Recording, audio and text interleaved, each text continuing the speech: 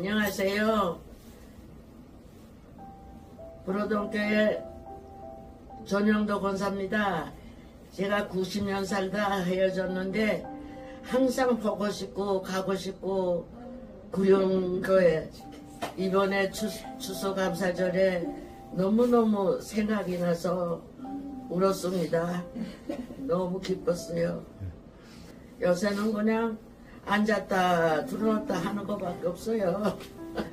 아, 그리고 우리 딸이 옆에 살아서 매일 오후에 한 바퀴씩 돕니다. 바람 쐬러. 예, 건강한 거죠?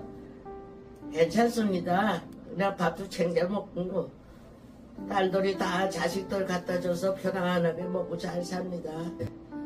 제일 중요한 것이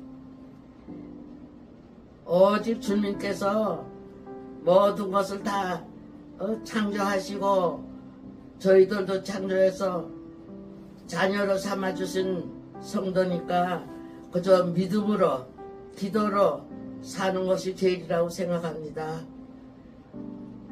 그리고 그냥 기쁨 가졌다고 높임을 받으려고 생각하지 말고 몸 바쳐 봉사하고 수고하는 것이 제 임무라고 생각했어요.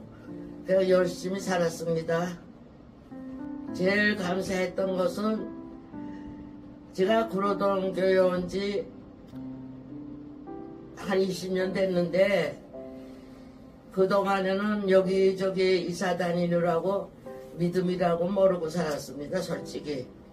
그러다 구로동 교회 와서 아 예수님이 살아계셔서 저를 같이 하여 주시는구나 하는 것을 깨닫고 모든 것이 제 뜻대로 되는 것이 없습니다.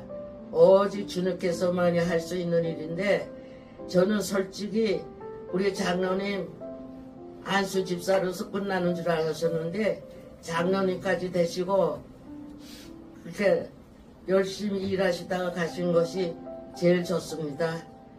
그리고 저도 믿는다고는 열심히 믿고 봉사하면서 살아야 되는데 지금 가만히 생각하니까 못한 것이 너무 많고 안 한 것이 너무나 많은 것 같아요.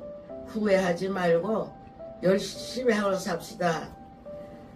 그런 걸 항상 생각은 하고 친정로를 생각하고 있는데 제 몸이 그러니 한번 가보지도 못하고